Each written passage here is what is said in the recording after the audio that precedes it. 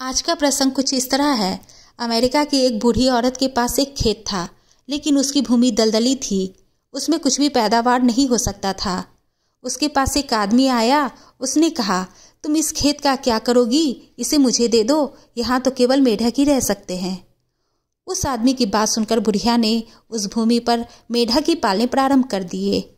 उसने इससे संबंधित तमाम जानकारियाँ हासिल की। धीरे धीरे उसका काम इतना बढ़ गया कि उसने आसपास की दलदली भूमि खरीद कर एक बड़ा फार्म बना लिया और उसमें भी मेढक पालने प्रारंभ कर दिए। दूर दूर से उसके मेढकों की मांग आने लगी। जल्दी बुढ़िया बहुत धनवान हो गई। जो अवसर को पहचान कर उसका सही उपयोग करते हैं, वे सफलता अवश्य अर्जित करते हैं। उम्मीद है कि आपको आज का प्रसंग अच्छा लगा होगा। तो लाइक करें शेयर करें और सब्सक्राइब करें। अगले वीडियो में हम फिर मिलेंगे। अब हम चलते हैं। नमस्कार।